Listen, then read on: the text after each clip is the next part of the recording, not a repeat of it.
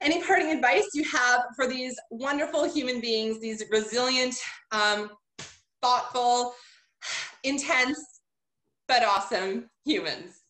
get your designation, get your CPA. Don't say you're going to go and get it in five years because it'll just be so hard to get back. Do it. It's going to take work, it's going to take effort, but get your designation uh, because once you have it, it will open up so many doors. Even if you don't think that you're going to be a traditional accountant, I am not a traditional accountant by any stretch.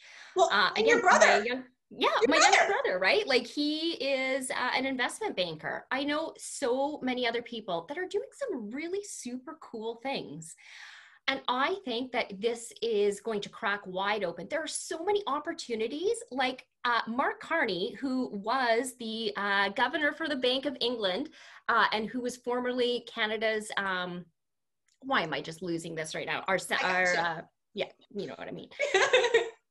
right like he has said that the opportunities that there are for uh, accountants that are working in climate change and like we're going to see mm. the impact of uh, sustainability climate change that is coming into our balance sheets. That's going to be the huge next wave. I personally have an interest in that so i think it's really cool.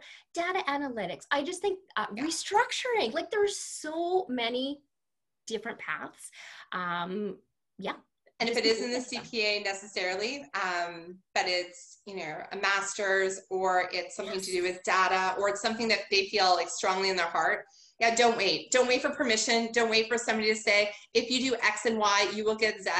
I know for myself personally, I have made the biggest leaps and bounds when people are like, are you effing stupid? And I'm like, oh, I don't think so. I made all these things. Um, and I just know that I have a, a personal board of directors uh, Nikki is is on it. Uh, she's leading the charge. You surround yourself with people that inspire you, that make you want to be better. And so, thank you, Nikki. You inspire me. You too. You